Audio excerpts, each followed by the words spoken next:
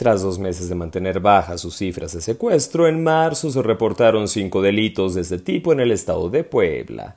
Así lo indicó la organización Alto al Secuestro, la cual destacó que con ello la entidad tuvo la tercera incidencia más alta el mes pasado.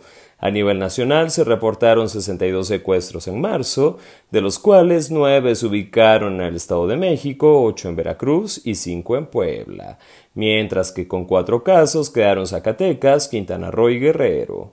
Cabe señalar que Puebla se reportó sin hechos similares en enero, en tanto que en febrero solo fueron dos casos, por lo que en el primer trimestre del año ya suman siete.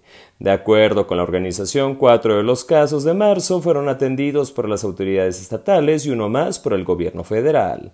Durante el sexenio de Andrés Manuel López Obrador, en Puebla se han denunciado 223 secuestros, la cuarta cifra más alta en el país, después de Veracruz con 947, Estado de México con 866 y Ciudad de México con 417.